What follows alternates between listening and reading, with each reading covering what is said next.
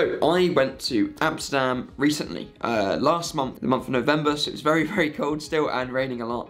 I absolutely love the Netherlands. I, I think Dutch culture, uh, Dutch cuisine, Dutch people are, it's just amazing. Uh, the people there are lovely. It was probably one of my favorite trips I've done uh, city breaks, what, what, definitely up there. So yeah, I went out on the Friday, got the Lizzie line over to Heathrow Terminal 5 and flew with British Airways to Amsterdam. And then we flew home on the Sunday night, which was a whole drama, but we got home and I was back at work on the Monday. So yeah, very quick trip with those city breaks. I really don't think you need a lot of time. So yeah, Amsterdam is uh, an immense city. It, it's very similar to a lot of other European towns and cities I'm sure we're aware of because we're in Europe, but it is so so unique in its own way that I think it's one of the only places I've been where I've gone, I could actually see myself living here.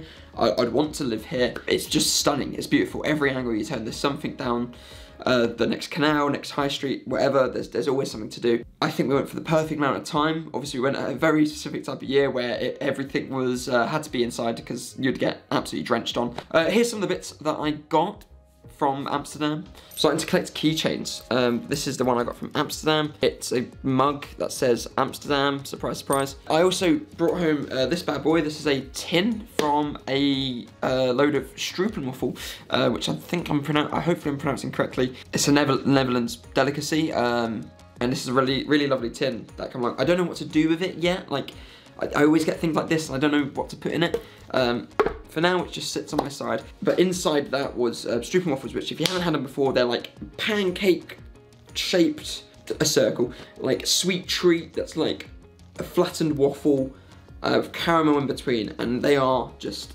the best thing ever. I had so many when I was out there, and I took some home as well for my parents. I also got a hat. Uh, it says stuff on it. It's from Bershka, and Bershka is like the European Zara. I know we have a few over here, uh, which I didn't realise until I walked down Oxford Circus literally the week after. My friend Joe, who I went with, they got a, uh, a, lovely t-shirt which had a cow on it. But yeah, uh, I got a few souvenirs from my parents. I was travelling with a tiny bag. Uh, this was from Decathlon. It was seven pounds, no way an ad.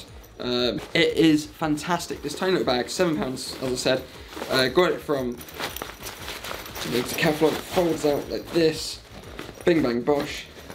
Look at this bad boy. I mean, it's it's not big. It's not big, but this is like kind of certain it's gonna fit in any holdall. Yeah, we we stayed in a hostel, which is really nice. Uh, we've stayed. I've stayed with this company before when I went to Berlin, and I thought I'd stay with them again because I really enjoyed their experience in Berlin. They have their own bars because a lot of people who are staying in hostels are kind of hopping around. That means they have like kitchen, kitchenettes, you know, all the amenities that you need. But Amsterdam is one of those cities where I'm like, this is the perfect city for a tourist and also for a cheap trip. Well, a big issue with the London airports is that they're so far outside of London, apart from City Airport, it's such a nightmare to get into London. Whereas Amsterdam, which is so great about it, it's only 16 minutes on a train between uh, the airport and city centre. There's one stop between the airport and the city centre, and that stop uh, a station called Sloterdijk, I don't know if I'm pronouncing that right. It doesn't sound right, but Sloterdijk, it's how it looks. That's where we were staying. So it's, and also with Amsterdam, I don't think you need to be staying in the city centre. Uh, it's very easy to get from the outside to the inside because there's the trams, there's the underground, as well as the, the overground trains, as well as, you know, taxi ranks, all of the above. The taxis are really expensive, which we've discovered, but if you can stick to public transport, you're, you're sorted. Uh, but there is a app here to download if you're going to Amsterdam. It has all the public transport stuff. It's not the best app in the world, but also it lets us know the train times, which is really super duper helpful. Also, when we were in our hostel, um, they put us in the room of four people, even though we booked a room of seven people. Um, and also the people sharing a hostel with, the other two people in the room, they weren't there. So we didn't actually see them for the whole journey uh, until it was 2 a.m. and they came through the door, obviously. Um, kind of expect that in a hostel. Um, but then they went straight to bed, so we didn't get to, didn't speak to them at all, which in, in the nicest way possible was quite nice because we were both exhausted. They woke us up the next morning, not by on purpose, but just them waking up and getting dressed because they were checking out that morning, our hostel buddies. And something really weird happened because they woke up and then one of them like went to the shower, had a shower, cool, like we were like, cool, whatever. Then they got back into bed and fell asleep. And then Joe and I got up and got changed and left and they were still asleep. And they were supposed to be checking out at 11. And when we left, it was like half 12. So that was really strange. But we did buy a lock for us to share um, our locker with. So that's where Joe and I kept all our bits and bobs. I just took a little sling over Uniqlo bag, um, which was really handy. Get on, here it is. Uh, I bought this from Uniqlo. Um, I got mine embroidered as well if I was ever on set, you know, for Take 22, I thought that was pretty cool.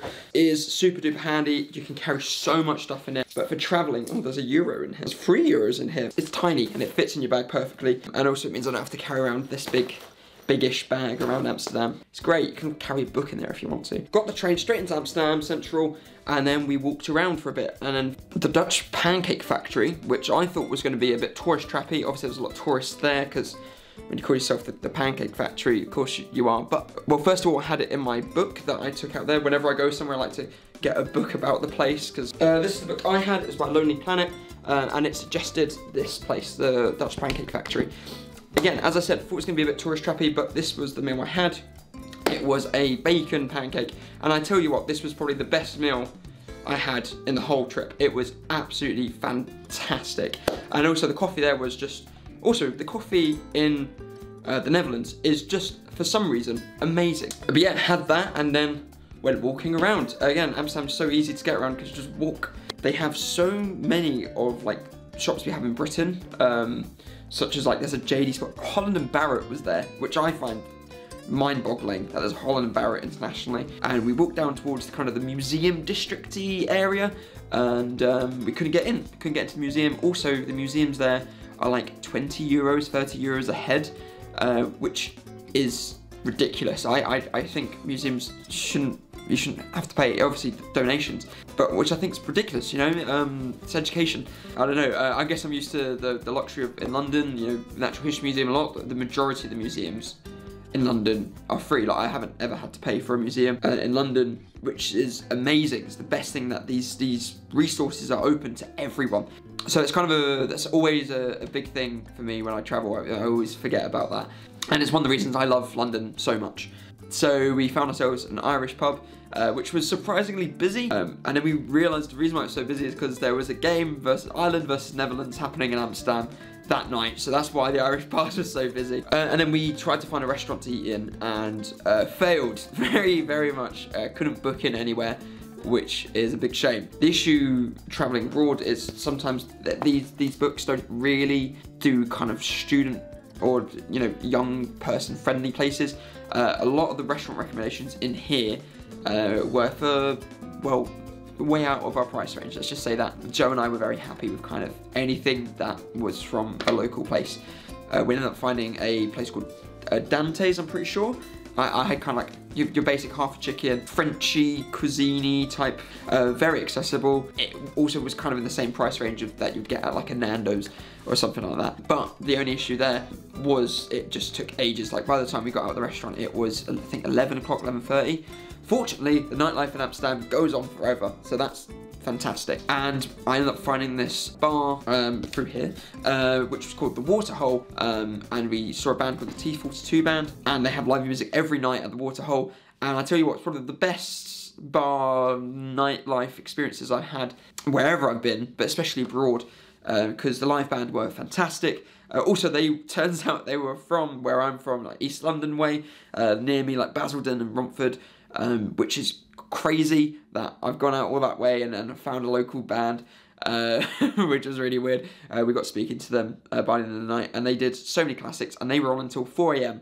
So we got there 11 and literally watched them for the whole time. We got through a lot of drinks, um, and the prices were like London prices for a night out um, averaging roughly around six euros, seven euros a pint. And also in this bar, it was a mixture between people our age and uh, a bit older, which was nice. We were looking, we weren't looking for anything like mental and crazy, so it was kind of a nice in between for us. We, we had a lovely time there, and then we got home, tried to get home, and we had to end up booking a taxi. Talk about the next morning, we were uh, a bit worse for wear. Got up and went out to do our Heineken experience. Not gonna lie, should have had the foresight to think that maybe after a night out, the last thing we want to do is alcohol tasting. Yeah, was kind of a bad foresight from myself. Uh, and then we were kind of forced to, to drink Heineken. And do you know what? The experience was was a strange one. There was like a ride that you stood on and it vibrated you, which again made us feel quite ill. If you're not interested in beer, probably not the thing for you, but it was uh, quite cool. We got to see how the whole process gets made. You know, then did a bit more shopping, looked around some more of the other areas of, of Amsterdam. By that time, it was time to go. So we uh, got the metro underneath towards the station and head back to our hostel, picking up our bags from the lockers, because obviously we had to check out. Got on the airplane, and uh, the flights were delayed, so that was fantastic. And obviously we landed in the UK quarter to 12, which was a nightmare because it was originally supposed to be a 10 o'clock flight and we would have just made the last train. Uh, fortunately, my parents were so kind to offer a lift and Joe managed to get home via the, um, via the bus. But obviously not a great experience being stuck uh, in another country and you have work the next day. Uh, but uh, there was no other flight. We tried to change it during the day and the only other flight that was flying out was flying out at the same exact time, just to a different London airport, and that flight was fully booked. Not ideal, but we got home all safe. Um, some things I would probably recommend is um, book places to eat beforehand. I kind of that's kind of a general thing. I think across Europe, I, every time I've been to Europe, always struggle to find somewhere to eat. It's the same in Paris, same in Berlin, same in yeah, anywhere. Do your research into restaurants before going. I think the only place I've I researched places to eat was in Venice and that was fantastic. Also, book experiences, look into what museums you want to do. There's a lot of museums, and the worst thing ever is if you book a museum and then you go in there and you go, oh, I'm not actually interested in any of this. So do your research of what you want to go into before you go. Try out some of the local dialects and, and speak to Dutch people. They're lovely, and um, yeah, really had a good time. Can't recommend Amsterdam enough. Yeah, thank you for watching, and um, yeah, hopefully I will uh, I will see you on the next adventure and hopefully I'll record a bit more of it. When I've been working around cameras so much, last thing I wanted to do when going on holiday was bring a camera, so it's quite nice to kind of this in between. So yeah, have a good night and uh, get exploring.